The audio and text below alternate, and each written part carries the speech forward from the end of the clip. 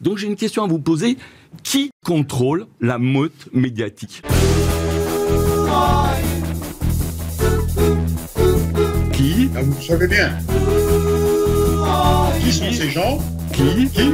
Qui? Qui? J'ai bien envie de savoir également. Et c'est d'ailleurs dès qu'on va dire qui que la température monte de 10 degrés.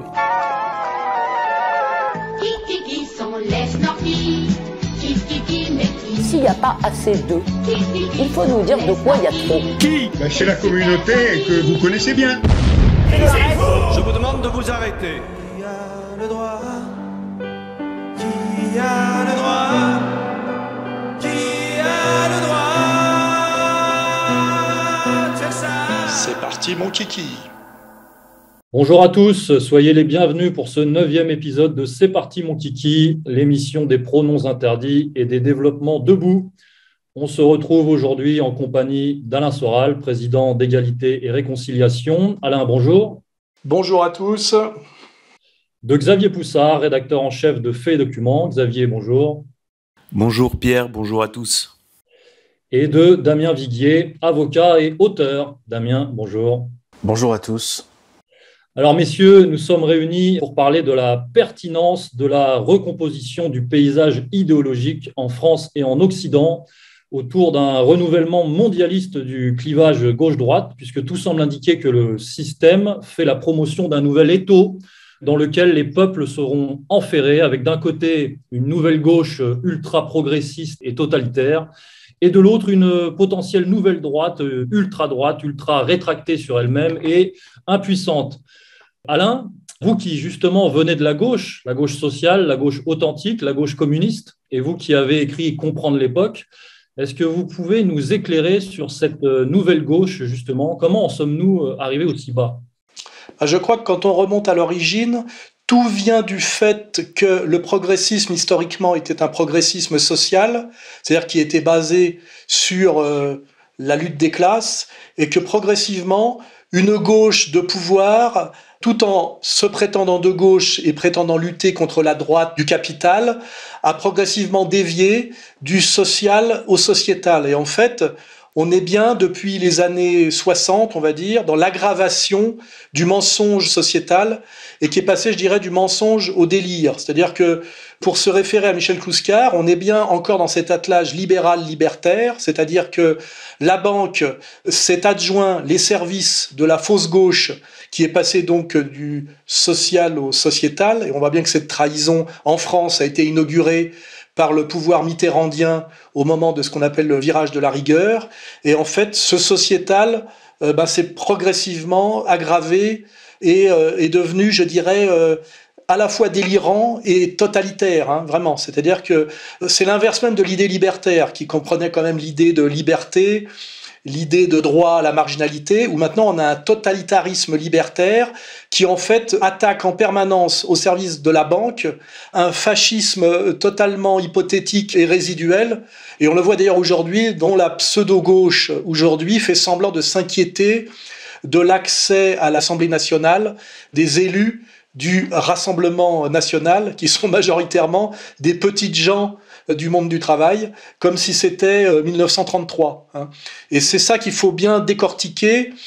Et je pense que pour bien comprendre d'où ça vient, il faut reprendre lutte des classes transformée en lutte des sexes par le féminisme et lutte des classes transformée en lutte des âges hein, par le jeunisme. Hein. C'est les premiers trucs. Et puis évidemment, après, il y a lutte des classes transformée en lutte des races par l'antiracisme, qui est un sujet plus subtil, parce qu'il y a de la lutte des classes dans la lutte des races quand même, hein, puisqu'il y a des peuples dominés, il y a de l'impérialisme, etc.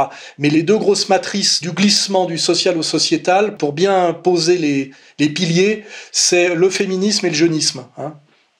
Donc on est passé par plusieurs étapes que vous avez déjà d'ailleurs analysées, en fait, il y a de ça plus de 20 ans, quand, lorsque vous avez parlé de la féminisation de la société. Et effectivement, aujourd'hui, on est complètement face à un délire sociétal et individualiste qui nous mène à quelque chose d'anti-civilisationnel, c'est ça?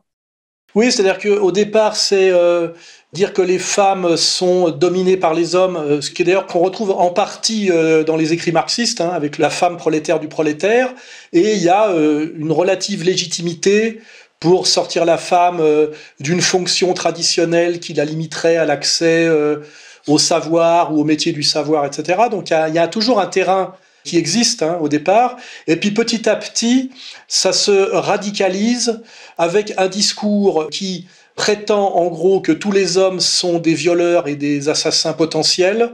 Et puis on a quelque chose d'assez obscène, c'est que les femmes sont énormément mises en avant par le système euh, contrôlé par le capital. C'est la féminisation de secteurs entiers, notamment les, par exemple l'éducation et la justice, où au départ on a une revendication égalitaire qui demande quelque chose qui serait de l'ordre de la parité, c'est-à-dire qu'il y ait autant de femmes dans certains secteurs que d'autres.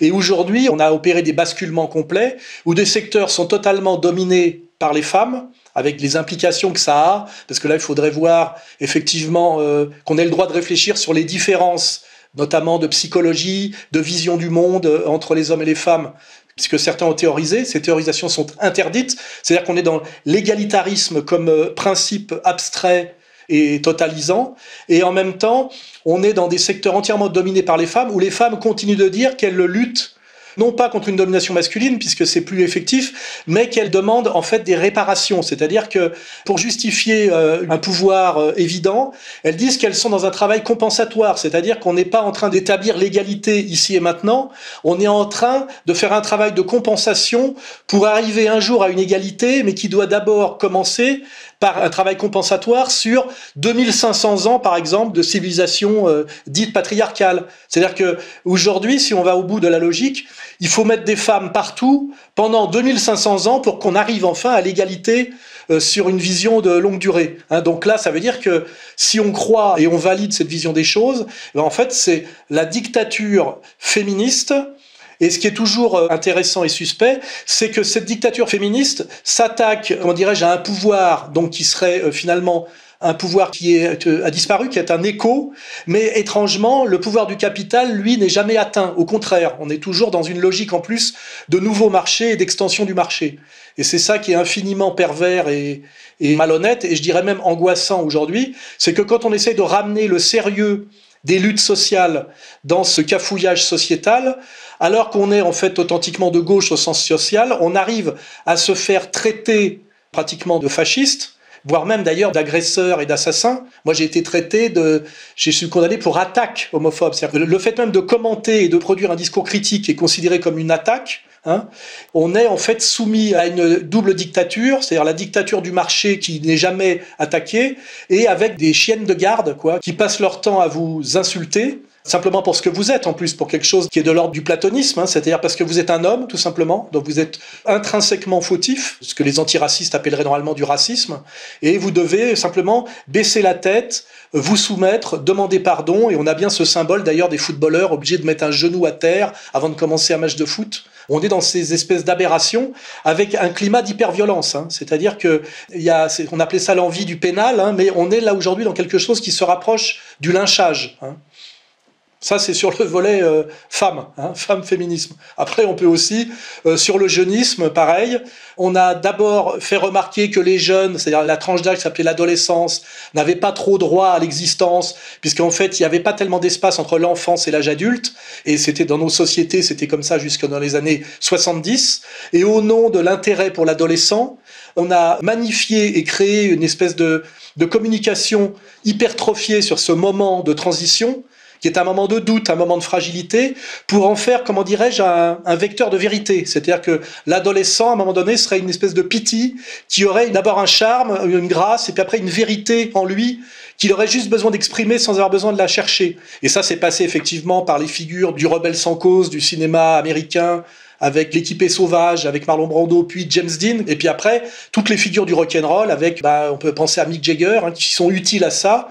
Et donc aujourd'hui, on a celui qui a créé cette civilisation qui est en train de se retourner contre elle-même, qui est, euh, on va dire, l'homme blanc de la civilisation euh, helléno-chrétienne, qui aujourd'hui est attaqué à la fois par la femme, c'est-à-dire euh, pas la mère, hein, mais au moins l'épouse et la fille, et par le, le, garçon. Il est pris en tenaille et sommé de s'humilier, de se taire, alors que normalement il incarne la civilisation occidentale, c'est-à-dire le logos, c'est-à-dire la culture et ce qui est au, cœur même de la culture, comme je l'ai exposé dans mon dernier livre, c'est-à-dire la maîtrise de la logique. Et donc là, on est dans un déferlement de folie de haine qui forcément euh, additionné euh, donne une volonté de violence, voire une violence qui s'exerce, avec ce féministo-jeunisme ou jeunoféminisme, et dont on peut d'ailleurs réaliser que ça donne euh, le LGBTisme. On pourra le vérifier après, que le LGBTisme, en fait, c'est féminisme plus jeunisme.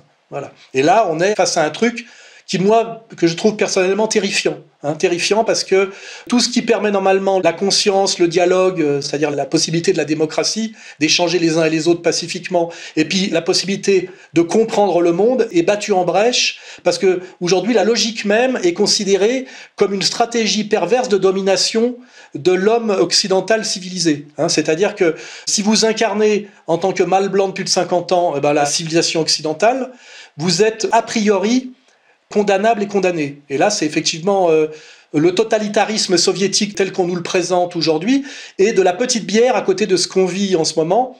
Et pour preuve, euh, j'ai discuté récemment avec euh, un homme d'un certain âge qui avait vécu en RDA, en Allemagne de l'Est et qui m'a dit la dictature que vous subissez aujourd'hui en France est bien plus profonde et bien plus perverse que ce qu'on subissait euh, en RDA. Et ça rejoint aussi la phrase très, enfin la phrase même la, la théorie très puissante d'un type comme Pasolini qui disait finalement la violence fasciste était une violence de surface qui n'avait pas attaqué en profondeur les fondamentaux anthropologiques de notre société. Alors que lui disait déjà avant 75 la société de consommation a produit sur la jeunesse une destruction bien plus profonde. Et cette phrase résonne aujourd'hui, mais on est allé encore bien plus loin parce que c'est pas seulement la société de consommation, c'est la société de consommation qui va aujourd'hui jusqu'au euh, LGBTisme, c'est-à-dire que dans la consommation est intégrée aujourd'hui la fiction du changement de sexe, c'est-à-dire quelque chose qui va jusqu'à la mutilation des organes d'adolescents en période de crise, mutilation favorisée, suggérée euh, fortement par une doxa et là, on est sur quelque chose effectivement de très très inquiétant parce que on est passé quelque part, je dirais, du réversible à l'irréversible. Parce que si tout ça en fait est de l'ordre du travestissement, on est passé, si on regarde par exemple l'épopée du jeunisme, c'est-à-dire euh, notamment à les années 60, à une revendication par les vêtements. D'ailleurs, on voit bien que c'est anglo-saxon, c'est Carnaby Street, hein, c'est Londres. C'est-à-dire qu'on se travestit, on met des vêtements pour se faire remarquer, à la limite on se teint les cheveux. On est passé après à quelque chose d'un peu plus agressif qui est le, par exemple le piercing, les boucles d'oreilles. On est passé et un peu plus après du réversible à l'irréversible qui est le tatouage, qui est un moment très puissant. Aujourd'hui tout le monde est tatoué, tous les jeunes se font tatouer, on incite les jeunes à se tatouer. Donc on est passé du réversible à l'irréversible et là on arrive à un stade encore plus grave qui est le protocole médicamenteux à base d'hormones et après la chirurgie et les ablations d'organes. Hein. Donc on est passé en fait dans un long processus de travestissement. Hein, qu'on voit déjà chez la garçonne, qu'on voit déjà chez la féministe euh, de l'époque des années 50, euh, qui était un truc de look, hein, euh, avec les existentialistes. Et on est passé en fait du travestissement réversible au travestissement irréversible. C'est ça les lignes de force qu'il faut comprendre. Et tout ça est un processus d'aggravation d'une idée forte qui est une idée de cacher le social sous le sociétal et qui est passé d'une arnaque Hein, euh, si on prend la période mitterrandienne 83-90, à une folie, et je dirais une folie euh, destructrice au sens euh, organique du terme. Alors, cette folie destructrice de la, nouvelle gauche ultra-progressiste sociétale repose sur des piliers idéologiques, parmi lesquels, par exemple, la théorie du genre, dont vous venez quand même d'esquisser les grands traits. On a parmi nous euh, Xavier Poussard qui devient plus ou moins malgré lui un spécialiste de la théorie du genre. Est-ce que vous voulez nous dire un mot là-dessus, euh, Xavier? Oui, alors déjà plus euh, largement, pour reprendre ce que disait Alain Soral sur le féminisme comme idéologie totalitaire et qui envahit absolument tout le champ du débat public comme un impératif, on voit quand même que des rapports de force profonds et des rapports de classe profonds peuvent casser cette logique féministe. Je vais prendre un exemple tout simple, c'est une affaire qui est apparue dans l'actualité récemment, qui est l'affaire Jacques Boutier, donc qui est le PDG d'Assu 2000, qui est un assureur qui avait des esclaves sexuels, essentiellement maghrébines ou roms, parfois mineurs, et donc qui est mise en cause pour viol sur mineurs et traite d'êtres humains. Bon, cette affaire commence, alors c'est une affaire MeToo typique, alors on a un vieux mâle blanc, effectivement, qu'on va pouvoir se payer. Donc l'affaire commence à prendre comme une boule de neige, etc. Et puis tout d'un coup, on voit apparaître, en fait, l'histoire, c'est que des gamines faisaient chanter le PDG de d'Assu 2000, Jacques Boutier, au moyen euh, d'un enregistrement sonore, si j'ai bien compris. Et on apprend que ce Jacques Boutier, donc, a mandaté un ancien du GIGN pour récupérer l'objet du chantage et que cet ancien du GIGN assure la sécurité de David de Rothschild. Et donc là, tout d'un coup, on ouvre une porte et là, boum, l'affaire disparaît, il n'y a plus de féminisme. Donc il y a quand même des vrais rapports de classe et des rapports de force euh, profonds qui font quand même dérailler la machine. Alors sur le LGBT, on voit quand même que c'est un projet, Alain Soral le disait, totalitaire, intégré, qui englobe tout et qui est quand même un projet d'extension du marché au corps humain. Euh, dans la littérature du 19e siècle, déjà, chez Hugo ou chez Zola, on voit des petites gamines euh, vendre leurs cheveux. Et là, ça nous fait un peu tirer les larmes, c'est le côté social. Mais là, on est rentré dans complètement autre chose, puisqu'en fait, on joue sur les incertitudes des enfants à l'adolescent pour vendre des protocoles médicamenteux irréversibles, effectivement. Et puis, il y a surtout la GPA, c'est-à-dire l'extension du marché à l'enfantement je vais donner un exemple sur la GPA, puisque la figure de proue de la GPA en France est Marc-Olivier Fogiel, qui est devenu euh, le patron de BFM TV. Et donc, je me suis intéressé à sa GPA et je pensais qu'une femme qui effectivement louait son ventre, hein, comme on loue ses bras, nous disait Pierre Berger, pouvait au moins derrière reconstruire sa vie, c'est-à-dire envisager d'acheter un logement, d'ouvrir un commerce, etc. Ce qui déjà aurait été condamnable, mais bon, après tout, aurait pu se justifier euh, du point de vue de la rémunération. Et là, j'ai appris qu'en fait, une mère porteuse des enfants de Marc-Olivier Fauget, alors qu'il les a fait en Floride, ça veut dire vraiment dans les règles de l'art, il n'est pas allé dans le tiers-monde, etc., et la mère porteuse touchait 18 000 dollars pour la grossesse. Ça veut dire que un mois de grossesse pour une mère porteuse, c'est payé 2000 dollars. Donc vous voyez, vous êtes sur un salaire qui est en fait un salaire à peine supérieur à celui d'une caissière ou d'une serveuse. Donc on est vraiment dans quelque chose d'abject qui, selon les catégories traditionnelles, renvoie en fait à l'extrême droite du capital. Et euh, tout ça avance sous le vernis de la gauche et du progressisme avec des tas de mensonges qui renvoient aux mensonges de l'identification de l'homosexualité au progressisme. On pourrait y revenir. Le mythe de l'homophobie qui est quand même, euh, enfin je veux dire, euh, Gide, Cocteau, Proust, Jean Marais, enfin il y a des tas d'artistes, des tas de personnalités qui ont fait des carrières en étant euh, ouvertement homosexuels euh, sans que ça ait jamais posé de problème. Donc il y a deux mythes, le mythe de l'homophobie structurelle et le mythe de l'identification de l'homosexualité et du progressisme. Et sur cet agenda LGBT, on a besoin de symboles. Donc là, on voit très bien bah, l'affaire Alain Soral qui était condamné quand même à trois mois de prison en Suisse pour homophobie ce qui choque personne, alors que bon, on prend les propos, on prend la condamnation, c'est quand même euh, assez extravagant, et on voit surtout que c'est lié à un agenda, puisque la Suisse adopte le mariage homosexuel le 1er juillet. Donc effectivement, on a besoin de faire un symbole, de faire un exemple, de condamner quelqu'un pour l'exemple dans le narratif de cet agenda.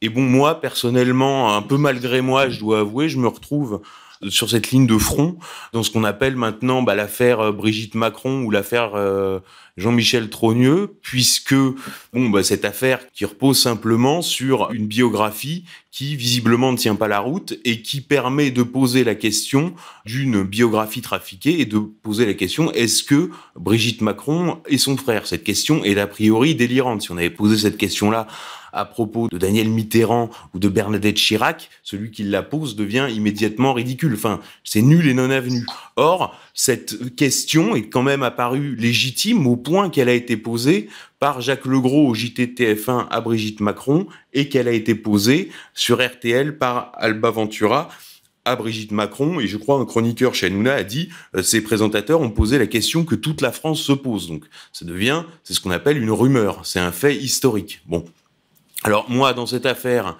je dois dire que pour l'instant, je ne suis pas poursuivi, mais j'observe quand même un certain acharnement fait de coups bas, puisque mon compte bancaire personnel a été fermé, le compte de la librairie Facta a été fermé, le compte de Fait Documents a été fermé, donc c'était des comptes qui étaient à la BNP. La conseillère m'a appelé, elle ne comprenait pas, elle me dit tout va bien sur vos comptes, mais je n'ai jamais vu ça, euh, ça vient d'en haut, etc. Ensuite, on a essayé de réouvrir des comptes. Euh, moi, j'étais à l'étranger, le conseiller de la banque qui avait accepté d'ouvrir les comptes normalement me dit, bah, écoutez, on va faire ça par Zoom, on fera une signature électronique. Puis il a rappelé trois jours après en disant, ce sera pas possible on ne pourra pas ouvrir de compte. Et aujourd'hui, on est absolument blacklisté de toutes les banques en France. Par ailleurs, la Poste a bloqué l'envoi de numéros de faits et documents pour une erreur technique qui existait depuis 50 numéros et qui avait jamais posé de problème, puisqu'en fait c'était vraiment une erreur euh, minime, mais qui là a justifié le blocage d'envoi de numéros de faits et documents. Et puis, euh, pour finir, on a appris récemment que Emmanuel Macron portait plainte au pénal contre Xavier Poussard, c'est-à-dire contre moi, mais non pas moi en tant que directeur de la publication de faits et documents, moi euh, personnellement. Donc Emmanuel Macron porte plainte contre Xavier Poussard. Enfin là, ça devient n'importe quoi, puisque normalement, étant donné l'irresponsabilité pénale du président de la République, euh, celui-ci n'attaque pas de citoyens au pénal. Mais bon, là, on dépasse toutes les règles. Là, on change vraiment d'époque. Donc non pas dans l'affaire Brigitte Macron, mais dans une toute autre affaire qui est l'affaire du bail locatif du palais d'Arolfa dans la Palmeraie de Bon, euh, c'est une affaire que ceux qui sont abonnés à Faits et Documents connaissent, qui existe dans Faits et Documents depuis cinq ans, dont 60% des informations qui ont été publiées ont ensuite été validées. Donc, ces informations été publiées en exclusivité. 60% de ces informations ont été validées par ailleurs par d'autres organes de presse, euh, certes euh, confidentiels, mais mainstream. Et là, le parquet a aussitôt ouvert une enquête et ordonné à la police judiciaire de me convoquer. Donc, clairement, on veut m'empêcher de travailler. Et donc, avec cette simple question a priori absurde, Brigitte Macron est-elle son frère? Ce qui vraiment, enfin, je veux dire, transposer cette question-là dans votre entourage pour mesurer à quel point elle est a priori absurde. Vous voyez, bah, rien qu'avec cette question-là qui renvoie effectivement à la question du transgenre, du LGBT, etc. Eh bien, le pouvoir l'Élysée fait tout pour m'empêcher de travailler, donc je me retrouve un peu malgré moi dans une situation euh, à l'agent édernalier. Enfin, je sais même pas s'il y a des. J'essaye de comprendre, de voir un précédent historique. Et là, vraiment, j'ai quand même l'impression qu'on marche sur la lune avec quand même une affaire une rumeur, je veux dire, ça se dément. Je vais donner un exemple tout simple. En 86, Isabelle Adjani a été visée par une rumeur. On disait qu'elle avait le sida, qu'elle était à l'article de la mort, à la timone. Certains disaient même qu'elle était morte. Bon, bah, Isabelle Adjani est arrivée sur le plateau de Bruno Mazur, resplendissante, et elle a dit, voilà, est-ce que j'ai une tête à avoir le sida? Et la rumeur, on n'en a plus jamais entendu parler. Donc, une rumeur, ça se dément, ça se fait taire, et ça se fait pas taire en censurant tous les comptes Twitter, en fermant tous les comptes qui relaient, en créant des armées de trolls sur Twitter. Enfin, tout ça est absolument euh, ridicule. Et donc, on verra les suites qui aura cette affaire. À mon avis, cette affaire n'en est qu'à son balbutiement. Et malgré nous, nous nous retrouvons donc sur la ligne de front du LGBT, puisqu'on peut très bien imaginer demain une évolution de la loi avec euh, effectivement appeler quelqu'un par son dead name, c'est-à-dire son nom de naissance, avant qu'il ne change d'identité de genre, et eh ben deviendra l'équivalent, selon une législation transphobe, une injure euh, passible, sans doute de prison. Donc euh, voilà où on en est. C'est quelque chose d'absolument, je vous dis, on marche sur la lune. Damien, avant de redonner la parole à Alain pour euh, poursuivre la critique épistémologique, est-ce que vous pouvez justement nous dire un, mot, un commentaire euh, juridique par rapport à la, sanctuarisation finalement de la, question du genre? Sanctuarisation, je crois que c'est le mot. Ce qui est difficile à comprendre, c'est qu'il y a un paradoxe. Si vous voulez, cette idéologie du transgenre, du genre, du transsexu enfin de la transsexualité, des sexualités multiples, identités, etc. Elle arrive devant nous avec le masque de la rébellion, de la dissidence, de l'avant-garde. Et ça, c'est extrêmement trompeur parce que, en réalité, le système législatif, les lois, et pour les appliquer, euh, le système répressif, c'est-à-dire euh, les procureurs de la République, les gendarmes, les policiers, les gardiens de prison, les huissiers, tout le système étatique est en réalité à disposition de cette idéologie. Cette idéologie a le pouvoir. Et si je peux arriver à vous faire comprendre à quel point on n'est pas du tout dans le débat de société où on ne vous demande pas votre avis en réalité. On n'est plus dans les opinions, on n'est pas dans la discussion démocratique.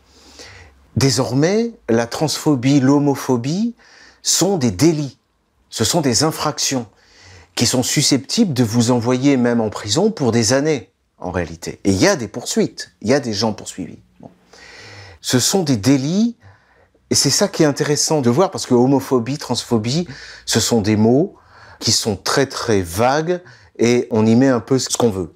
Et pour vous dire à quel point il y a une répression qui est potentiellement, qui est présente, et elle n'est pas que potentielle, il faut regarder les textes de loi. Bon, c'est toujours un peu compliqué techniquement, mais c'est extrêmement parlant. Vous avez cette fameuse loi de 1881, la loi sur la liberté de la presse. Les premières mesures sur, disons, l'expression des opinions générales ont pu entrer dans cette loi au début du XXe siècle. Figurez-vous que c'était pour défendre les bonnes mœurs c'est-à-dire précisément pour lutter contre la pornographie, etc. Et c'est une faille dans laquelle petit à petit d'autres causes se sont engagées et on a eu, alors je ne fais pas l'historique, hein, 1990, etc.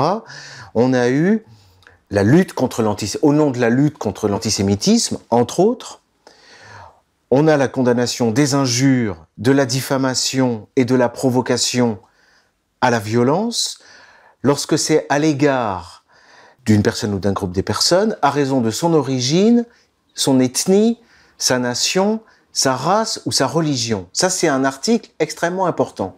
C'est avec cet article que l'on mène une lutte pour laquelle on ne plaisante pas, c'est la lutte contre l'antisémitisme. Eh bien, ce qui est assez parlant, c'est que cet article, il est exactement dupliqué, c'est vraiment un duplicata, au lieu d'avoir la linéa 7 de l'article 24, vous avez la linéa 8 de l'article 24. Et voyez comment procède la loi et la répression. On a simplement changé les mots. C'est-à-dire, au lieu d'ethnie, nation, race, religion, on a mis sexe, orientation sexuelle, identité de genre, et alors, ça, ça reste un mystère pour moi, on a ajouté handicap. Voilà.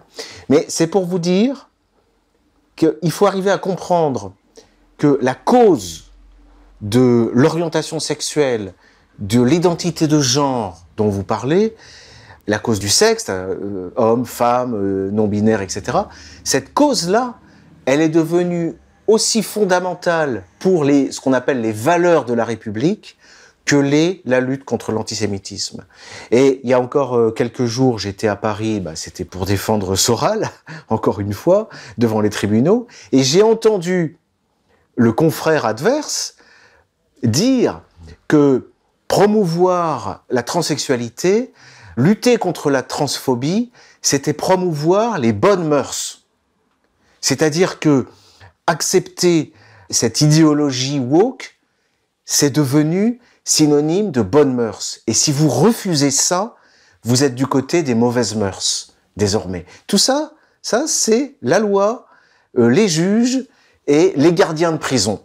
Voilà du point de vue juridique le commentaire que je voulais faire. C'est important parce que les journalistes, les gens qui écrivent, les gens qui communiquent sur Twitter, sur les réseaux, les gens qui parlent, qui discutent, ne peuvent pas avoir conscience du stade auquel nous sommes arrivés aujourd'hui.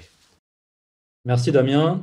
Alain, j'aimerais qu'on reprenne l'analyse de cette nouvelle gauche ultra-progressiste qui, à mon sens, semble reposer sur une idéologie profonde qui est l'idéologie de la table rase, table rase biologique, table rase culturelle et table rase démographique, on va en parler. Est-ce que vous pouvez nous redire un mot sur cette table rase biologique et cette théorie du genre comme fondamentalement on prétend être dans le progressisme, on est dans le dévoiement du marxisme, parce qu'en fait, le penseur majeur du progressisme sérieux, c'est Marx. Et dans Marx, il y a du passé faisant table rase. Mais en fait, on fait table rase des injustices sociales du passé. Et là, c'est du passé faisant table rase radicalement. C'est-à-dire que c'est le principe du cancel, c'est que on vire tout le passé sous prétexte que le passé, c'est le patriarcat, et qu'avec le patriarcat, on a tout. On a donc la domination de classe, hein, qu'on garde quand même comme ça en passant de classe à sexe, hein, toujours, hein, toujours ces mêmes glissements. Et puis après, on a effectivement euh, derrière le colonialisme qui est très important. Et là, d'ailleurs, je vais tout de suite faire une incise, c'est qu'en fait, l'idéologie dominante, c'est quand même l'antiracisme. Et aujourd'hui, la défense de la, lutte contre l'homophobie, c'est-à-dire la défense des transgenres, est une extension de l'antiracisme. Hein. Alors d'ailleurs, les gens vous disent, oui, euh, c'est la même chose, c'est l'extension de ça. C'est vrai que c'est l'extension de ça, mais il y a un saut qualitatif qui s'opère dont les gens n'ont pas forcément conscience et que là, je vais euh, rendre euh, clair et objectif. C'est-à-dire que l'antiracisme, en réalité, c'est l'habillage de l'idéologie du métissage. C'est-à-dire qu'on voit bien que quand les Français, à partir des années 80, ont voulu s'opposer à une immigration de peuplement qui n'était plus une immigration de travail, il y a eu une phase de résistance en banlieue Hein, de petits blancs qui souffraient de quelque chose qui est une colonisation à l'envers, eh ben c'est l'antiracisme qui les a condamnés, et c'est la loi antiraciste qui les a empêchés de s'opposer à cette transformation radicale de société qui est déjà quelque chose qui n'est pas de l'ordre de l'idée ou du social, mais quelque chose qui s'attaque à la différence des races. Hein. Je rappelle qu'on est tous de la même espèce, mais qu'il y a des races. Hein. Les gens confondent race et espèce.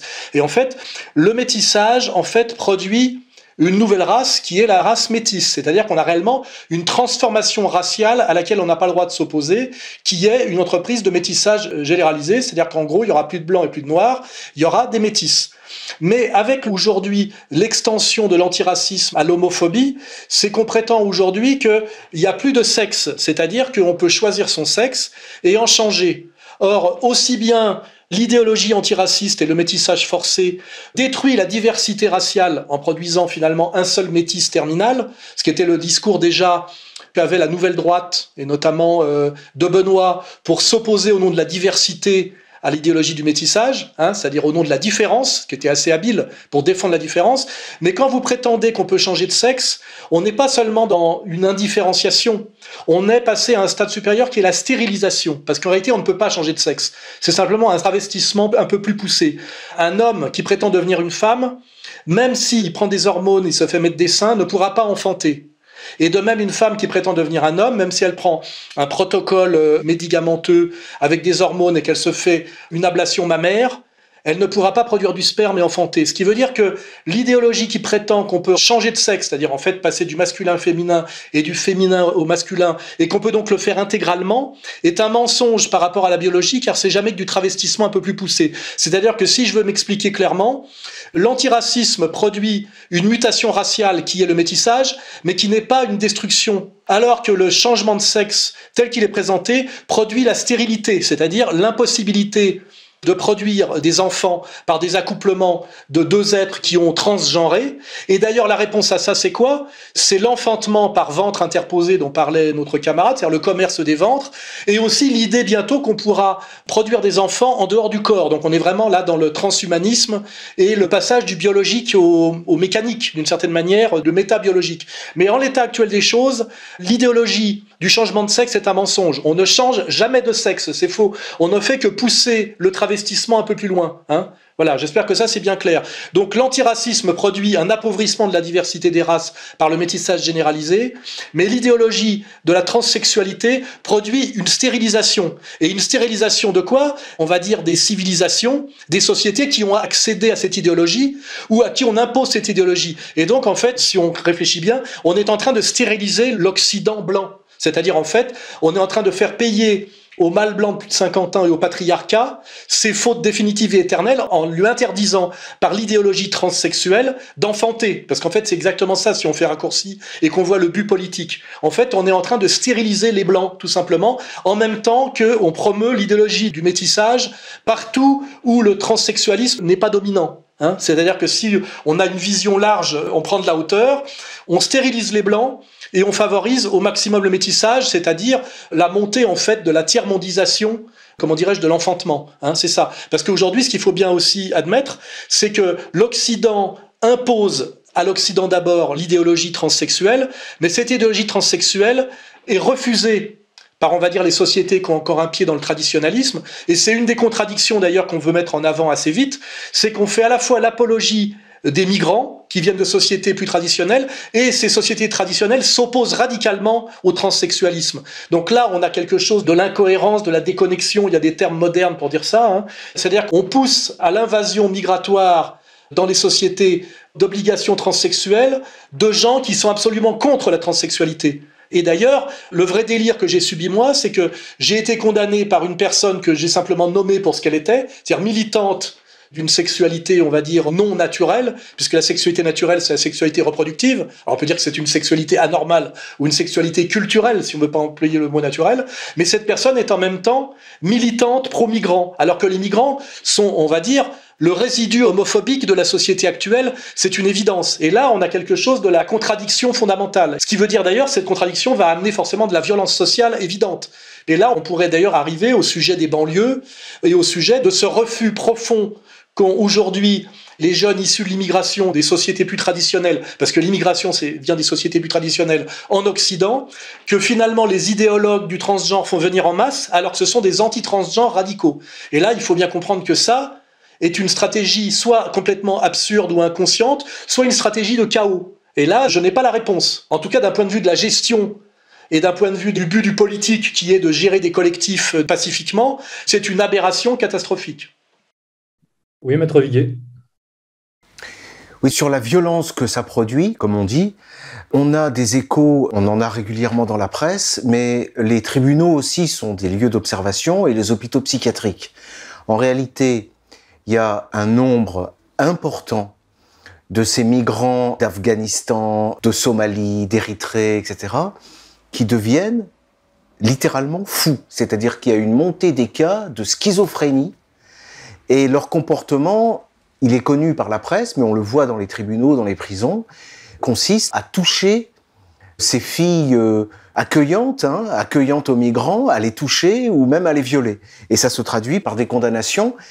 Et leur trouble psychiatrique euh, les conduit également dans des traitements médicamenteux, c'est-à-dire ce qu'on appelle des camisoles chimiques, ou carrément enfermés dans des hôpitaux psychiatriques.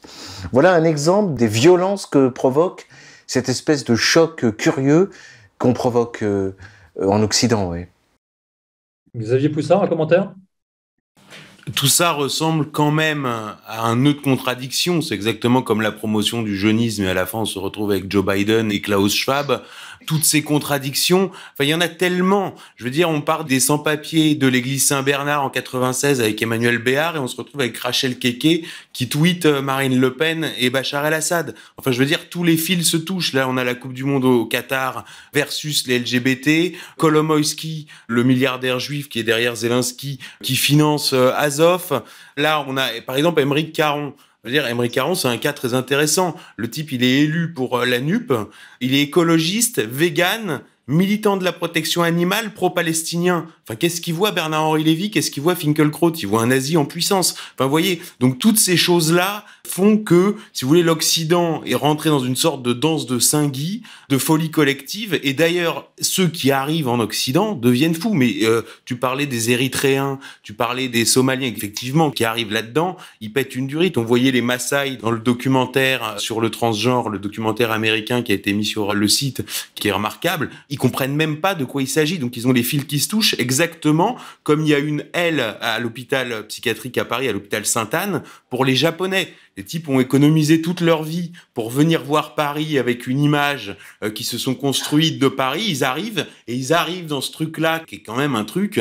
C'est même pas le tiers monde parce que le tiers monde ça peut avoir son charme, ça peut avoir. C'est n'importe quoi. Enfin c'est le pire de tout ce qu'on peut. C'est-à-dire que euh, on se bourre la gueule comme les Anglais, on se cogne dessus comme les Algériens. Enfin c'est n'importe quoi. C'est un bordel intégral et ils deviennent fous. Les touristes japonais deviennent fous. Il y a une aile, il y a eu des articles dans la presse là-dessus, une aile à Sainte-Anne pour les touristes japonais Paris.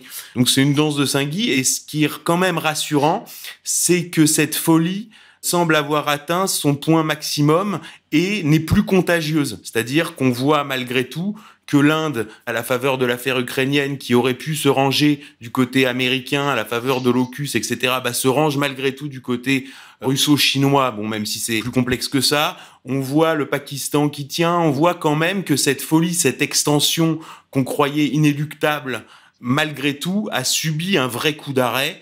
Et là, je vous dis, et ce coup d'arrêt a provoqué ce qu'on vit actuellement, c'est-à-dire cette époque complètement folle où il n'y a plus besoin de Gorafi, il n'y a plus besoin d'humoriste. Enfin, le réel rattrape complètement la parodie. Là, je voyais par exemple le candidat de Mélenchon face à Darmanin qui s'appelait Leslie Mortreux. Tout le monde a vu cette vidéo. Enfin, je veux dire, c'est un homme avec des cheveux longs, quoi. Enfin, je veux dire, Groland peut pas faire plus. Euh, Francine Kunz, quoi. Genre, euh, le type a juste les cheveux longs. Bonjour, je m'appelle Francine. Enfin, vous voyez, Groland est battu à plat de couture tous les jours. Le Gorafi est au chômage. C'est juste la fin d'une époque. Alors, de quelle époque c'est? Est-ce que c'est la fin du siècle juif, comme l'avait théorisé euh, Zleskin, mais aussi Simone Weil ou, ou même Weininger, qui avait pressenti que le XXe siècle était le siècle juif. Est-ce que c'est la fin de la période qui s'est ouverte avec la chute de l'URSS en 1990 Est-ce que c'est la fin de la période qui s'est ouverte en 45 avec euh, la défaite du, du Troisième Reich? Est-ce que c'est la fin de la période euh, qui s'est ouverte avec les Lumières et la Révolution française? Ou est-ce que, en prenant encore plus large, c'est la fin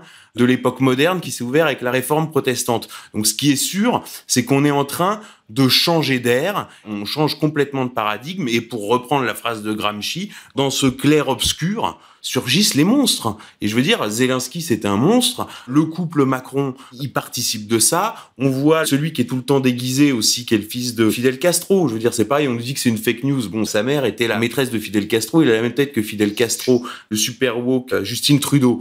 Euh, voilà. Donc on a cette galerie de personnages plus monstrueux euh, les uns que les autres. Et pour finir sur ce changement de paradigme, je signale quand même qu'il y a une dizaine d'années, des dirigeants comme Sarkozy nous disaient qu'on irait ensemble vers le nouvel ordre mondial et que c'était inéductable. Avec Klaus Schwab, on est passé à la régionalisation de la mondialisation. Et là, Yannette Yellen, qui est secrétaire d'État au Trésor de l'administration Biden et qui a été présidente de la Réserve fédérale américaine, vient de publier un éditorial qui a fait beaucoup de bruit qui s'appelle La mondialisation entre amis. Donc ça veut dire qu'on est passé du nouvel ordre mondial à la régionalisation de la mondialisation et maintenant c'est la mondialisation entre amis. Ça veut dire que demain c'est la mondialisation en famille et puis après-demain c'est la mondialisation tout seul dans les chiottes quoi. Donc en fait, ils sont condamnés et toute cette folie qu'on observe sont les symptômes d'un effondrement imminent et nous allons vivre sans doute ce qu'a vécu la Russie dans les années 90 après la chute de l'URSS, encore plus aggravé, quelle durée, on ne sait pas mais c'est ça qu'on est en train de vivre et dont il faut avoir conscience. Alain oui, pour retourner au concept, en fait, euh, puisque c'est quand même le marxisme qui est le moteur du progressisme, en fait, les marxistes, avec l'effondrement de l'URSS, ont renoncé à ce qu'on appelait l'homme nouveau. Et l'homme nouveau, c'était l'idée de l'historicité absolue, c'est-à-dire qu'on pouvait totalement transformer l'homme sans tenir compte, on va dire, du biologico-organique, du psychologico-affectif. Le social pouvait entièrement transformer l'homme. En fait, les marxistes y ont renoncé par le constat d'échec du socialisme réel et du RSS. Et en fait, on est passé de l'historicité absolue à l'historicité relative pour les gens sérieux qui réfléchissent. Et cette historicité absolue est passée en fait pareil du social au sociétal. Et maintenant on est dans l'historicité absolue qui a rebondi dans la théorie du genre. C'est-à-dire que la théorie du genre, c'est de dire que en fait on peut totalement choisir son sexe par une volonté idéologique, par un processus social. Et ce mensonge, c'est que quand on dit totalement changer de sexe, c'est réellement qu'un homme peut devenir une femme, c'est-à-dire produire du sperme et enfanter. Une femme peut devenir un homme, produire, produire du sperme et enfanter, c'est compliqué. Et qu'un homme peut devenir une femme, c'est-à-dire être enceinte et accoucher. Et d'ailleurs, les images qu'on nous montre en général, on voit par exemple un homme enceinte. Alors on voit un barbu avec un gros ventre. Mais en fait, c'est déjà une femme qui est travestie en homme par un protocole chimique et qui tombe quand même enceinte parce qu'elle est restée une femme. Donc c'est un mensonge. Et en fait, ce mensonge de l'historicité absolue qui justifiait l'arrogance des révolutionnaires marxistes auxquels ils ont renoncé et qui s'est retiré de l'histoire en 1989, eh ben, bizarrement a rebondi comme un monstre dans l'historicité absolue sexuelle, c'est-à-dire la théorie du genre, où on nous dit, voilà, il y a eu, d'ailleurs, le, le, narratif pour fonder ça est un narratif totalement mensonger, c'est l'histoire de deux jumeaux qu'on a voulu circoncire à la naissance, et il y en a un, on lui a, comme cet effet de l'électricité, on lui a brûlé le, pénis, qui était minuscule. Et donc on a dit, puisqu'il a plus de pénis, on va en faire une fille.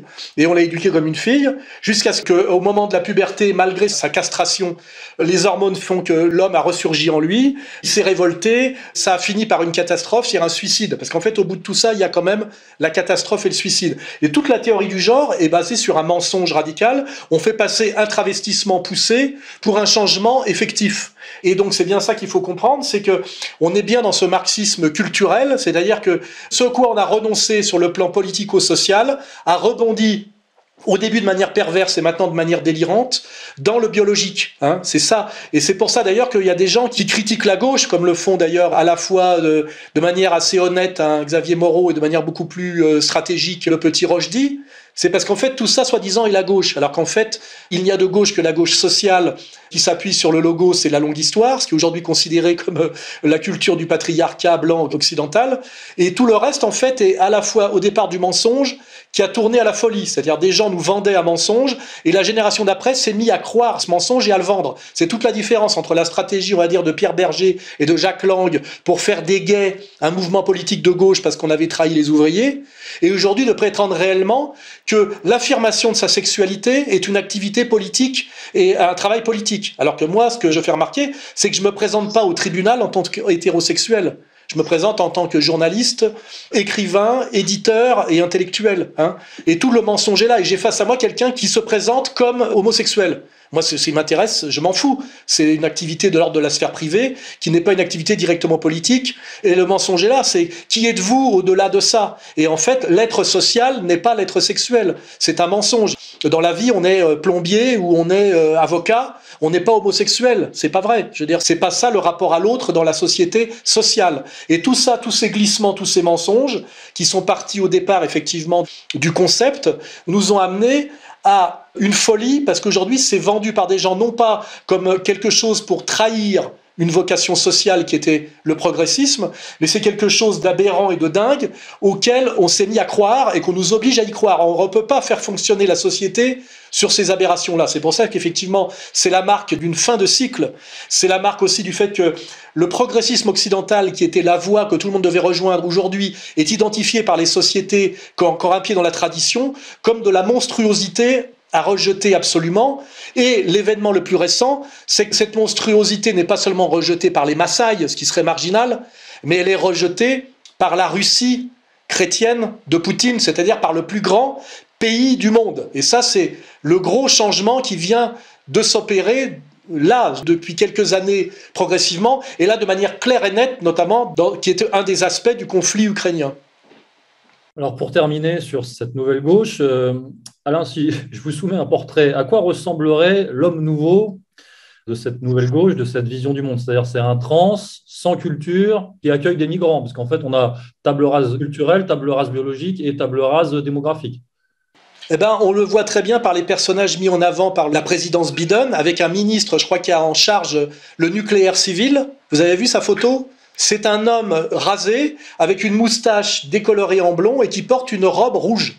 Et il est ministre d'État, je crois, s'il correspond à ministre d'État, dans le gouvernement euh, Biden. Biden, qui lui-même, lui et son fils, sont très fortement soupçonnés de pédophilie active, qui est d'ailleurs de la pédocriminalité, hein, c'est pas juste aimer les enfants. Donc on est effectivement dans ce monde qu'on a le droit, je dirais, de qualifier de sataniste. Hein. Je rappelle que le Baphomet, ce symbole du diable, est un homme avec une tête de bouc et une poitrine de femme. Donc on est bien là dans une espèce de délire de négation du biologique et du naturel, et qui est effectivement, pour ceux qui sont dans cette idéologie, est une idéologie de dépassement des normes, c'est-à-dire de la loi naturelle, soit comprise comme la loi de Dieu, donc la loi de l'Église, soit comprise comme le dépassement de la nature qui nous enfermerait dans des instances que l'homme est capable de dépasser. Donc on a bien cette idée du progressisme occidental qui prétend aujourd'hui que notamment par une certaine maîtrise technique ou une maîtrise euh, médicale, il peut s'affranchir de toutes les lois et les règles naturelles, c'est-à-dire à la fois de la morale traditionnelle qui nous a guidés de la nuit des temps jusqu'à aujourd'hui, et en même temps de toutes les injonctions de la nature. Hein. Et c'est là une arrogance incroyable, une folie, et aussi, on l'a dit, un commerce, n'oublions pas. Hein. C'est un énorme marché. Et effectivement, ça nous met à dos tout le reste de l'humanité, et même aujourd'hui une grande partie de notre humanité, c'est-à-dire de la chrétienté orthodoxe. Hein. c'est le marqueur très fort aujourd'hui, c'est que Poutine a dit je ne veux plus participer à ce monde, je n'en veux pas, je propose une alternative, et une alternative qui n'est pas, je dirais, le, retour strict à une tradition considérée comme le tiers-monde. Hein. Et on voit bien aujourd'hui qu'on est dans une nouvelle guerre est-ouest et on a un nouveau rideau de fer. Mais ce rideau de fer n'est pas sur la question du capital, hein, puisque la société russe de Poutine est une société libérale, quoi qu'on dise, mais se fonde plus radicalement sur du biologique. Hein. Voilà, on a ce nouveau rideau de fer et cette nouvelle guerre froide qui est passé du capital au biologique, hein, et tout ce que ça implique. Alors on va aborder maintenant euh, l'opposition promue par le système à cette nouvelle gauche. Et euh, d'un point de vue politique, les dernières semaines nous ont quand même donné des exemples, des illustrations concrètes de ce que nous développons aujourd'hui, à savoir la nouvelle répartition des rôles et leur gestion par le pouvoir, puisque dans le même temps, le chaos au Stade de France, à Saint-Denis, a consacré l'impunité d'un pan de cette nouvelle gauche, alors que, effectivement, en même temps, on assistait euh, en Alsace à l'arrestation avec un énorme déploiement euh, policier euh, de quatre, je crois, militants survivalistes d'ultra-droite. Sommes-nous face à un paradoxe, Alain, là, ou alors est-ce que c'est simplement de la gestion, justement? Bah là, en tout cas, ça nous saute au visage comme une espèce de contradiction très très dangereuse, puisqu'on voit bien que le pouvoir politique hein, qui existe en fait, décrète l'impunité. Je veux dire, Dupont-Moretti est là pour bien dire aux délinquants qu'ils ont l'impunité totale. Et on voit bien un lien qui est d'ailleurs très dangereux entre délinquance et origine ethnique. Donc c'est très pervers, hein, puisque c'est de plus en plus associé dans les faits. Même Zemmour, on a du mal à le contrer là-dessus. Hein, voilà. Et de l'autre côté, nous, l'injonction à la au transgenre, c'est-à-dire que l'avenir, on va dire, du petit blanc, c'est le changement de sexe. Et l'avenir de l'immigré, qui soit migrant d'ailleurs ou français de papier, qui lui est promis, c'est le droit à la sauvagerie, avec cette idée que c'est dans sa nature. En plus, il y a tout un, on voit bien pareil cette espèce de délire des féministes qui accusent les blancs de harcèlement sexuel potentiel s'ils ne regardent pas leur godasse, alors que quand il y a des viols faits par des migrants, notamment euh, du côté de la porte de la chapelle. On incrimine la largeur des trottoirs et le manque d'éclairage de rue. Et même, ça va au-delà que certaines femmes violées, notamment en Allemagne par des migrants, disent qu'elles veulent pas porter plainte parce que ça serait du racisme et que finalement le viol n'est jamais que leur pratique sexuelle traditionnelle et sociale et que ça serait donc du racisme de leur imposer à eux notre sexualité transgenrée, féministe moderne. Donc on est dans quelque chose de totalement délirant qui pourrait être drôle dans un premier temps, mais qui n'est pas drôle parce que ça produit sur la société des effets catastrophiques en termes de violence, d'injustice, de folie. C'est-à-dire que ça pousse les gens à la folie. Même moi, quand j'ai été condamné à trois mois de prison ferme pour attaque homophobe parce que j'avais osé répondre à des mensonges, j'ai eu un choc euh, de type un peu dépressif pendant un certain temps, parce que ça se passe en Suisse, qui est le pays de la tolérance absolue, de la neutralité absolue. J'ai compris d'un seul coup où en était en fait l'idéologie dominante occidentale, jusqu'où était capable d'aller, on va dire, l'état profond mondial, c'est-à-dire le pouvoir du capital, pour se maintenir coûte que coûte. C'est-à-dire à envoyer quelqu'un qui représente la maîtrise du concept qui est le fruit et la légitimité presque de cette supériorité occidentale, d'envoyer quelqu'un qui s'inscrit dans cette tradition au plus haut niveau, de le foutre en tôle, hein, de le foutre en tôle pour le faire taire. Et donc là, on est bien sur, euh, comment dirais-je, une épopée qui se boucle sur elle-même. C'est-à-dire aujourd'hui, l'Occident qui a produit le progressisme est dans une phase d'auto-assassinat, hein, c'est ce qui s'appelle un suicide. Hein. On est dans une phase de suicide de l'Occident en ce moment. Hein. Mais qui passe, le suicide, ça passe par l'élimination des gens qui veulent pas crever comme moi. Et justement, donc, les gens qui veulent échapper à ce suicide, on les caractérise, et je vous le disais, on, les, on, en fait la promotion, on les caractérise d'ultra-droite, c'est-à-dire euh, une nouvelle droite euh, ultra rétractée, ultra conservatrice, qui justement essaye d'échapper à tout ce qu'on vient de présenter euh, auparavant. Mais d'où vient cette nouvelle droite et où va-t-elle surtout? Bah là, euh, après, je laisserai Viguier en parler parce que c'est une histoire de loi, hein, tout ça. Mais on voit bien en fait qu'aujourd'hui, on ne nous laisse pas le choix de la normalité traditionnelle. Soit vous validez la société transgenrée et ce délire, soit vous êtes rejeté dans la marge de l'extrême droite et même de l'ultra droite, qui est un terme qu'on a inventé parce que l'extrême droite c'est Marine Le Pen et c'est donc le RN. Et donc le RN en fait, c'est devenu en fait l'idéologie réellement dominante du peuple français. Et donc, ce qui veut dire aujourd'hui que l'idéologie normale, c'est l'extrême droite. Donc, il a fallu inventer l'ultra droite, qui serait à la droite, en fait, de quelque chose qui est en fait la norme des gens, en fait, l'idéologie gilet jaune, quoi, des gens qui ont gardé une pensée qui fonctionne pour gérer le réel, parce que les autres, ils sont hors sol, quoi. Donc c'est pour ça qu'on a inventé l'ultra-droite, parce qu'aujourd'hui, si l'extrême droite, c'est le premier groupe d'opposition à l'Assemblée, qui est le groupe du RN, qui est quand même, qui aurait été un parti de gauche encore il y a 30 ans, hein. c'est-à-dire qu'on a tellement dérivé qu'aujourd'hui, le RN, c'est l'extrême droite, ce qui est quand même complètement pareil d'une malhonnêteté et d'un délire total de prétendre que le, on va, la doctrine euh, du Rassemblement national serait d'extrême droite. Mais du coup, on a inventé l'ultra droite pour ça. C'est des gens qui seraient un peu à la droite, en fait, de ce centrisme qui est aujourd'hui l'idéologie RN. Hein, voilà. Et alors, euh, ces gens-là, on les somme finalement non pas de se positionner de façon normale, mais on les somme d'être des suprémacistes blancs d'ultra-droite, séparatistes, avec une volonté, par exemple, de reconquête, vous voyez C'est-à-dire que c'est ce qu'on appelle pousser aux extrêmes. Hein c'est pousser aux extrêmes pour pouvoir éliminer et condamner. C'est-à-dire qu'aujourd'hui, la position, je dirais presque normale, même si c'est un terme difficile à dire, qui serait en fait la doctrine gauche du travail, droite des valeurs, c'est-à-dire nous, qui seraient les normaux, eh ben, on est interdit en fait. On ne peut exister que si on se radicalise. Alors pour ça, on a d'ailleurs des vecteurs, hein, Papacito, euh, qui se permet de poignarder une effigie de Mélenchon, par exemple, ce que nous on ne ferait jamais. Et comme ça, ça permet à la loi d'une certaine manière de les embastiller derrière. Hein. C'est-à-dire qu'il y a un piège qui leur est tendu. C'est soit vous serez pro-LGBT, soit vous rentrez dans la résistance et la dissidence, et vous êtes des séparatistes et des sécessionnistes, et la loi va s'occuper de vous, parce qu'il n'est pas question que vous... Et là, ça fait penser à Waco. Les États-Unis ont déjà vécu tout ça. Hein.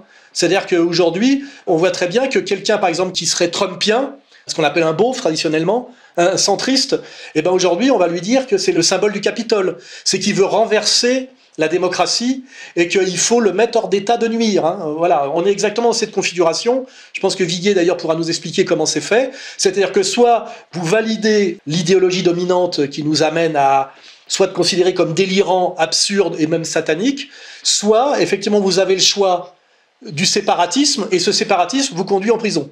C'est-à-dire, en réalité, si vous voulez rester dehors, eh ben, vous devez valider tout le package. Sinon, effectivement, vous aurez le droit, effectivement, de vous séparer. Mais pour ça, il y a des lieux pour ça. Ça sera d'ailleurs demain des camps, hein, sans doute. Mais c'est déjà la prison. Hein. Maître Viguier, je pense que vous pouvez nous en parler. Hein. oui, il y a une chose qui est compliquée à, à intégrer et qui est très importante, en fait, à comprendre c'est que vous n'avez pas simplement, comme on le croit euh, intuitivement, vous n'avez pas simplement la loi et puis de l'autre côté, la réalité sociale, les honnêtes gens, les délinquants, euh, les gens qui volent euh, les supporters anglais, les gens qui complotent, etc. La loi, ce sont des mots.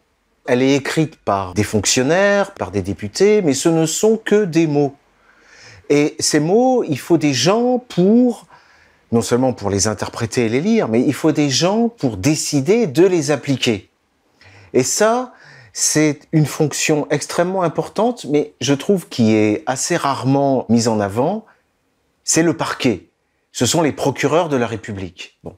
Et quoi qu'on dise, le parquet, c'est le pouvoir politique.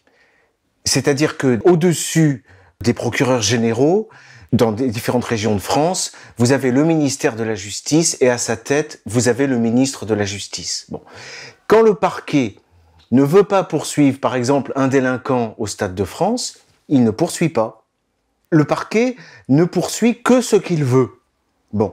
Donc, quand vous avez un ministre de la Justice, et je crois que c'est ce qui s'est passé avec Dupont-Moretti, qui, arrivant au ministère, dit qu'il va être le ministre de la lutte contre l'antiracisme, euh, et je ne sais plus quelle était exactement la formule, c'est simple.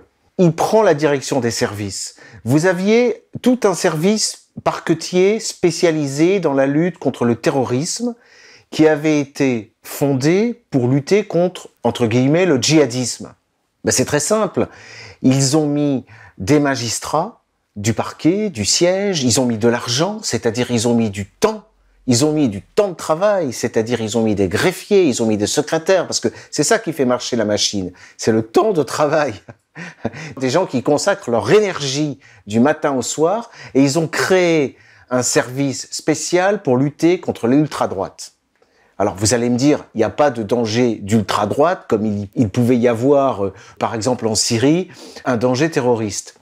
C'est vrai, mais c'est pas important parce que vous avez un arsenal de lois, des textes que vous pouvez lire comme vous voulez et les interpréter comme vous voulez. Et moi, j'ai déjà dit, et c'est ce qui s'est passé, quand vous faites un texte pour lutter contre l'islam radical, par exemple, il faut bien comprendre que le texte, il va être rédigé de manière abstraite et qui pourra tout autant être appliqué au nom de la lutte contre l'antisémitisme, au nom de la lutte contre l'ultra-droite. Ça, c'est le premier volet, si vous voulez. Vous avez le parquet, c'est un élément très important qui applique la loi. Et ensuite, mais les lois sont suffisamment vagues pour lui donner tous les moyens d'appréhender n'importe qui. Nous, ici, nous sommes en train de discuter. Mais ça s'appelle, dans les termes de la loi, ça peut s'appeler, aux yeux d'un parquetier, une association de malfaiteurs.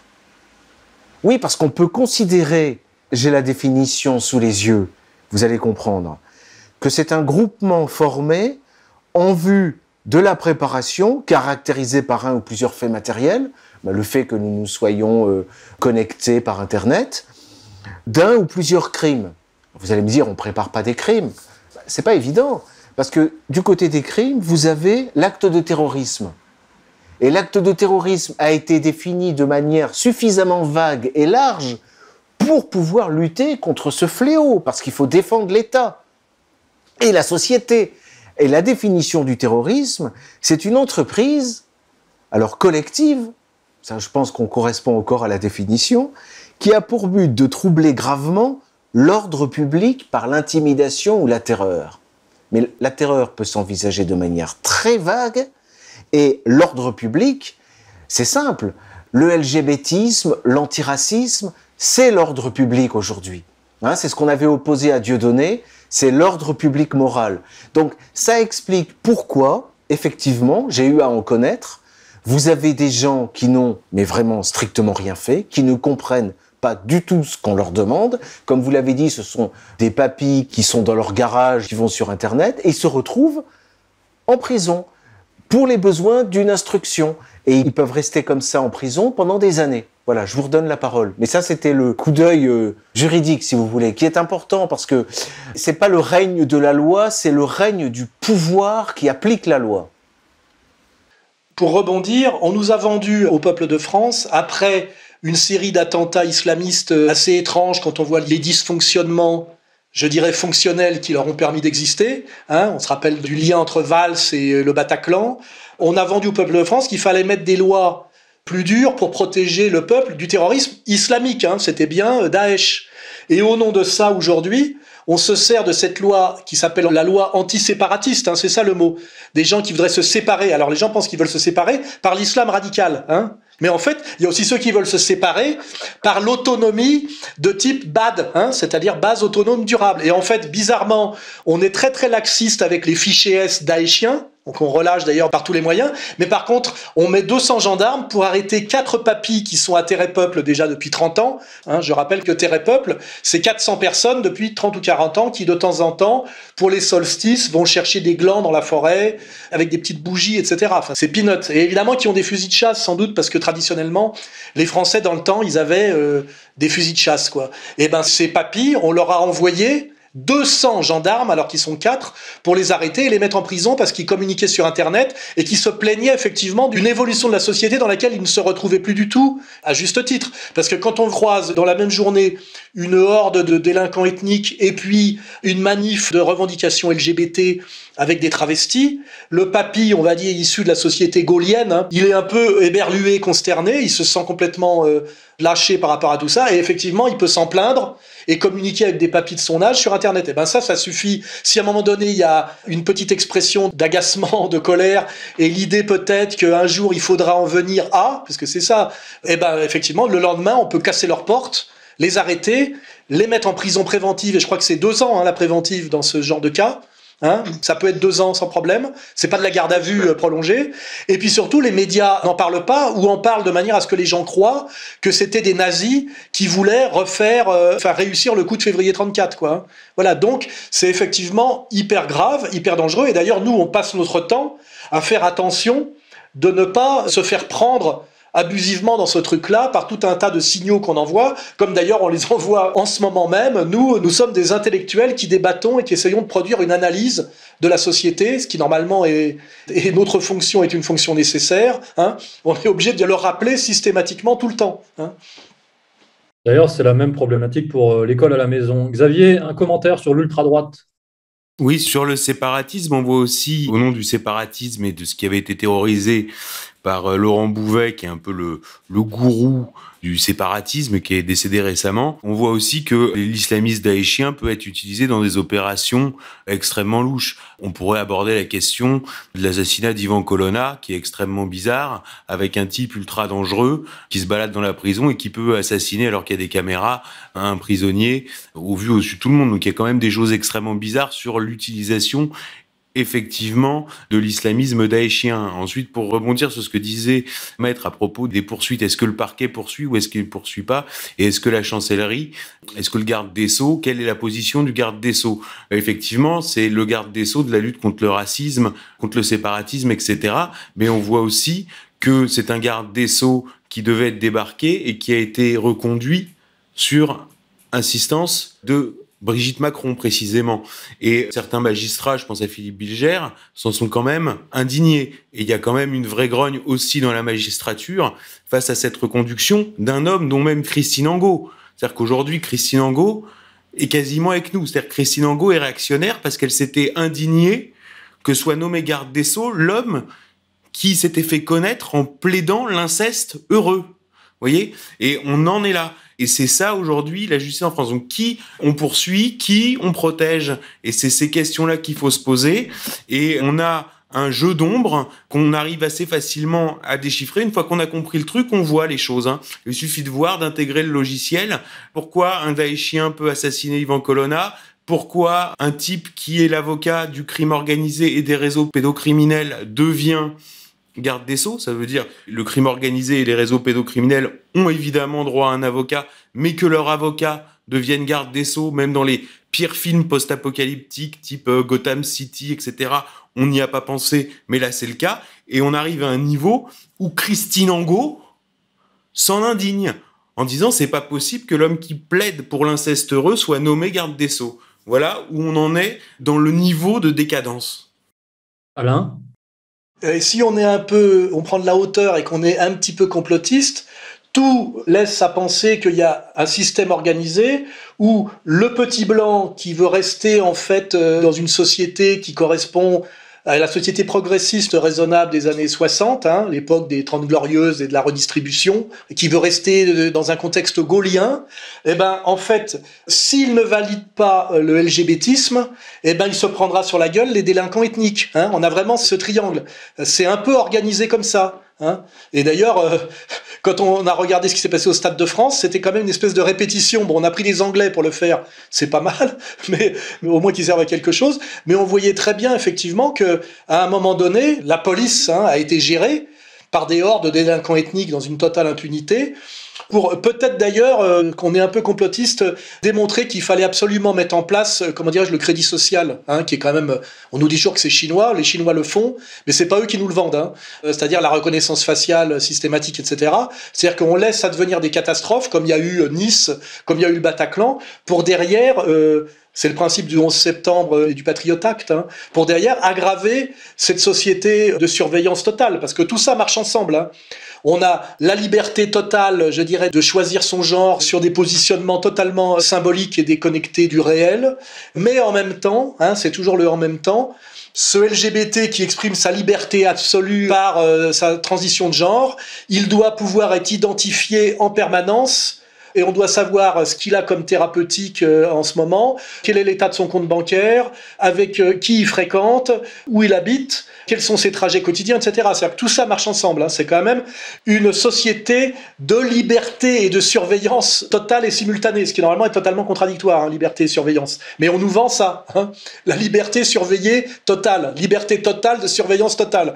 Donc on est quand même dans le dystopique et dans le contradictoire total. Et c'est pour ça que normalement, si le monde est causalité, cette société arrive euh, à sa fin d'une certaine manière. Elle ne peut pas durer encore très longtemps et on va passer forcément à monnaie à autre chose. Alors là, je reprends la phrase d'Atali. Est-ce qu'on va passer autre chose à la place de la guerre ou après la guerre? C'est à peu près ça. Mais moi, je l'interprète effectivement, je dis la même chose qu'Atali, mais de la position inverse. La question, c'est est-ce que ça va se faire à la place de la guerre, c'est-à-dire donc avant la guerre, qui donc n'aura pas lieu, ou après la guerre. Hein, c'est à peu près ça, quoi. Hein. C'est euh, l'alternative, elle est que celle-là. Hein.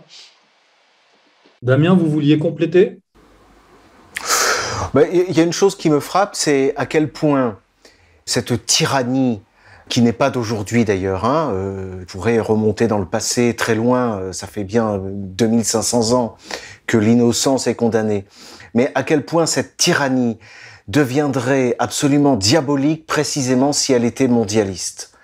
Et à quel point la première séparation des pouvoirs, celle qui nous protège, celle qui réellement protège la liberté, c'est d'abord la séparation entre des entités politiques, euh, comment dit-on, euh, euh, un monde multipolaire. Voilà, c'est le caractère multipolaire du monde qui peut encore protéger la liberté.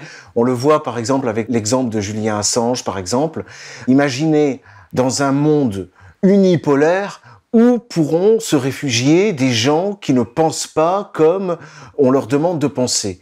Et d'ailleurs, j'ajoute que les vrais occidentaux, finalement, selon la tradition occidentale, ce sont pas les LGBT, hein, ce sont les gens qui se rebellent. Et ceux qui se rebellent aujourd'hui, bah, c'est des gens comme Alain Soral.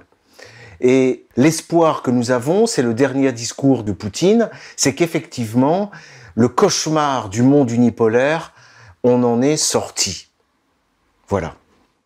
On est en train d'en sortir, mais ceux qui nous tiennent avec cette vision du nouvel ordre mondial, qui sont des vieillards peu nombreux, mais qui sont assis sur l'état profond, eux sont prêts à aller jusqu'à la Troisième Guerre mondiale pour ne pas lâcher. Parce qu'une fois qu'ils auront lâché, il y aura le lynchage hein, derrière. Hein. Il y aura du procès de Moscou, il y aura du Nuremberg, et il y aura de la terreur au sens Révolution française. Et je pense que c'est ça qui les terrifie, et c'est parce qu'ils sont terrifiés par ce lendemain qui ne va pas chanter pour eux, qui sont prêts à tous les chaos. Faut pas oublier. Hein. Et ça, ça s'appelle la gauche biden. Parce qu'en plus, comme j'ai dit plusieurs fois, ce qui est assez euh, troublant et très très déstabilisant, c'est que le diable aujourd'hui, le mal avance par la gauche, alors que on nous a toujours appris que le chemin du bien c'était la gauche, hein, c'est le logiciel général du progressisme, et que les méchants étaient à droite. Or aujourd'hui, ce génie du libéralisme libertaire, de se servir des libertaires à partir de mai 68 pour aggraver le marché, la domination du capital, fait qu'en fait, on a du mal à identifier parce que le diable est déguisé en hôtesse. C'est ça le problème, il présente bien.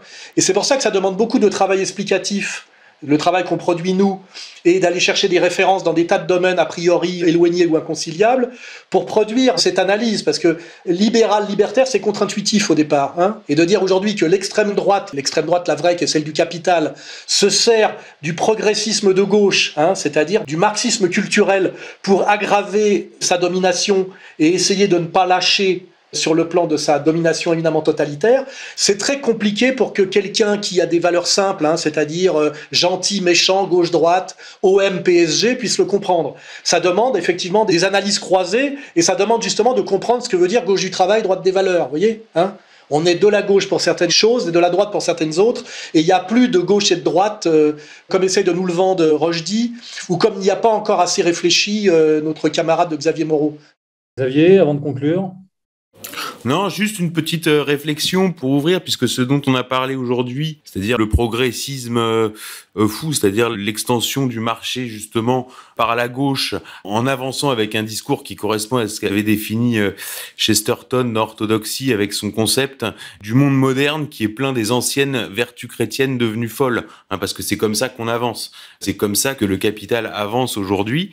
J'ouvre un sujet sur Mélenchon, parce que j'observe malgré tout que si Mélenchon était effectivement ce qu'il prétend être, c'est-à-dire le cheval de Troie du woke, du LGBT, etc., il ne serait pas attaqué tant que ça. Or, je lis quand même la presse.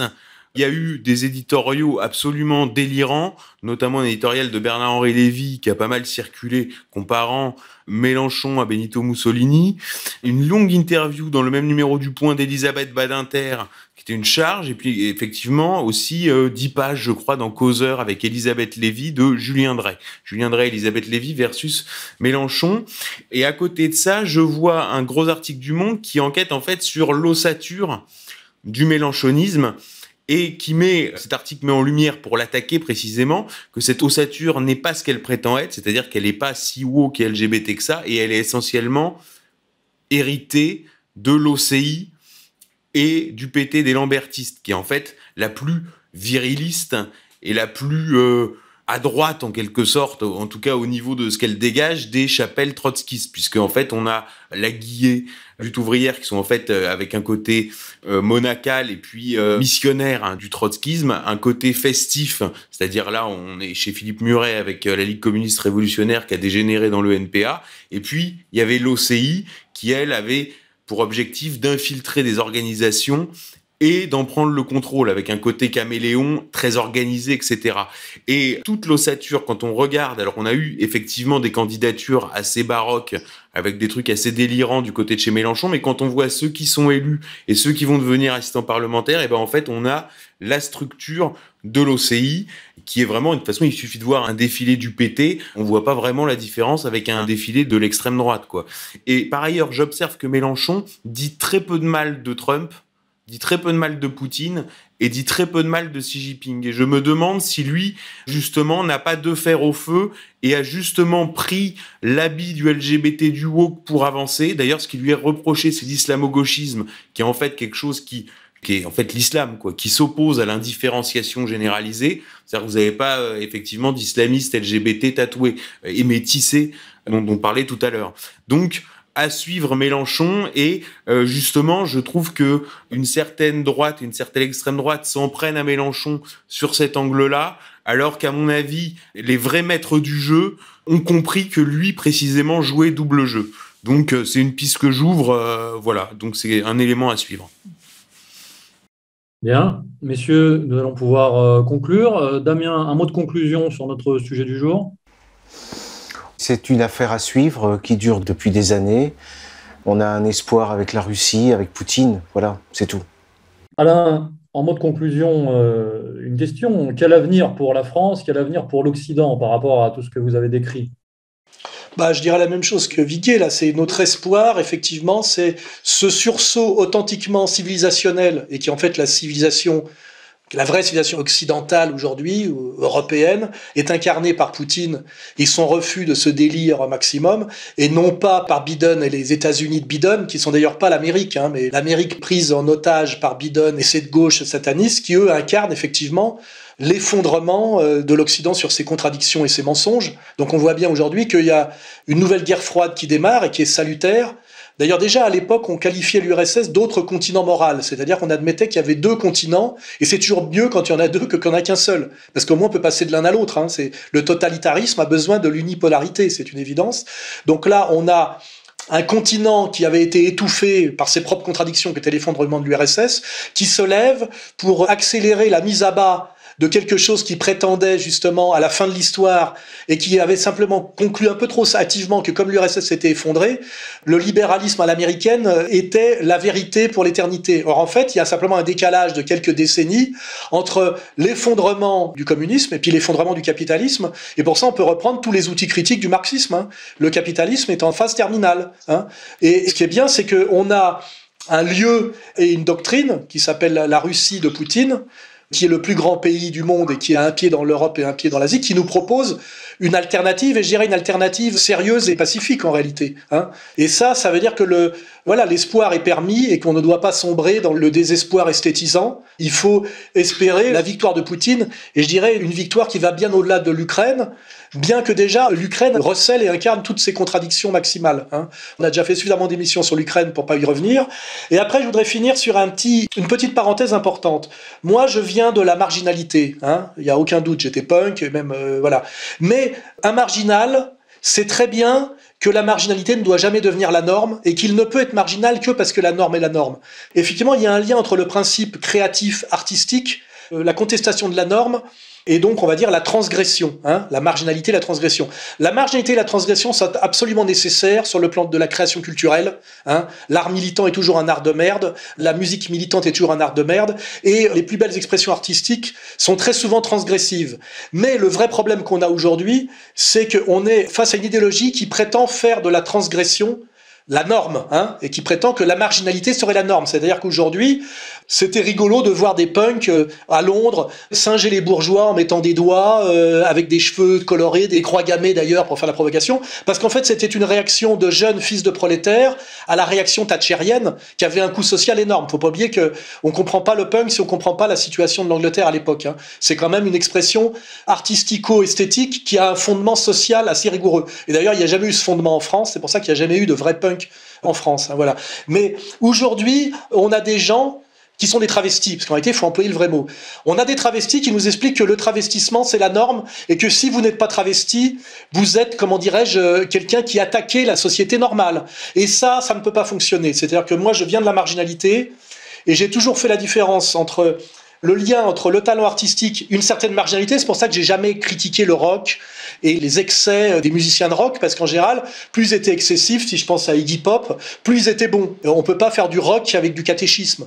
Mais le problème, c'est que ces gens-là, quand ils sont vraiment rigoureux et honnêtes, comme les Iggy Pop, ne prétendent pas représenter la société et la normalité, et ils ne le veulent surtout pas. Comme les homosexuels de l'époque que j'ai bien connus, étaient contents d'être différents et ne voulaient pas singer la normalité en se mariant ou en exigeant euh, un statut social basé sur la normalisation. Ils étaient contents d'être des marginaux, et de même que moi, j'étais content d'être un marginal, je savais que j'étais un marginal, et je savais moralement que je ne pouvais être marginal que parce que la société normale fonctionnait. C'est-à-dire que je pouvais me lever à midi parce que le facteur, lui, se levait à 6 heures, hein, et le laitier, et le boulanger. Hein. Aujourd'hui, on nous fait croire que cette société peut fonctionner avec de la marginalité de masse, qui est déjà une contradiction totale. Hein. Dans le temps, on se tatouait parce qu'on était un être de la marginalité. On était soit gitan, soit on avait fait de la prison, soit on avait été soldat, soit on avait été marin. Aujourd'hui, tous les normaux sont tatoués, ce qui fait d'ailleurs que moi je ne peux pas l'être.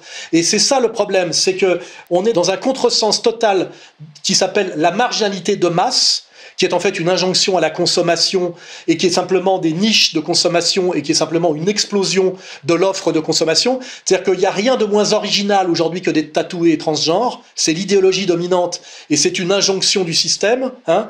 Et ça ne veut pas dire quand je dis tout ça que je suis pour une normalité réactionnaire. Je suis justement pour qu'on réhabilite la marginalité et la transgression pour ce qu'elle est. C'est-à-dire que moi, je suis un lecteur absolument passionné du marquis de Sade, mais le marquis de Sade, il a passé toute sa vie en prison en racontant des choses qu'il n'a pas vraiment vécues, et d'une certaine manière, son œuvre littéraire était une œuvre de dénonciation. Il disait, voilà, les gens qui vivent ce que je ne vis pas moi sont des nobles, il suffit de lire ce que c'est que Justine ou Juliette, et d'ailleurs le film de Pasolini le raconte de la même manière, ces quatre membres de l'élite religieuse, sociale, juridique et nobiliaire qui torturent des femmes et des enfants dans un château. Hein. Donc c'est quand même pour montrer le mensonge, la laideur du pouvoir. Hein. C'est toujours actuel, c'est comme ça qu'il faut lire. Ce n'est pas une apologie du viol et de la pédocriminalité en réalité, quand on le lit sérieusement. C'est dire voilà la laideur cachée derrière le pouvoir. Ça nous ramène plus à l'affaire Baudis, à toutes ces affaires actuelles. Hein. Et ça, c'est très important. Moi, je ne suis absolument pas pour attaquer la marginalité et la transgression, qui sont synonymes de ferment de qualité artistique. Mais je suis absolument pour combattre une idéologie dominante qui se prétend transgressive ou qui veut faire de la transgression la norme. C'est un danger profond pour la société et c'est une escroquerie fondamentale. Il n'y a pas de marginalité de masse, il n'y a pas de transgression de masse et il n'y a pas de marché dominant de la transgression et de la marginalité. C'est toujours hors marché. Hein, voilà. Donc c'est pour dire que tous ces petits cons qui se croient marginaux, euh, supérieurs, originaux parce qu'ils sont tatoués et qui se mettent du rouge à lèvres alors que ce sont des jeunes garçons, eh ben ce sont simplement des, les nouveaux normaux et qui ferment leur gueule et qu'ils aillent bosser. Hein, voilà. Merci Alain pour cette mise au point essentielle. Messieurs, merci pour vos interventions. Je rappelle à nos auditeurs que vous pouvez participer à l'aventure d'ER à nos côtés grâce au financement associatif, celui d'Alain Soral et celui de la rédaction du site ER, que vous retrouvez les informations précieuses de Xavier Poussard dans Fait et Documents sur abonnement, et que les ouvrages philosophiques de Maître Viguier sont disponibles chez Contre-Culture. C'était C'est parti mon kiki. On se retrouve prochainement pour le dixième épisode. D'ici là, restez en forme. À bientôt.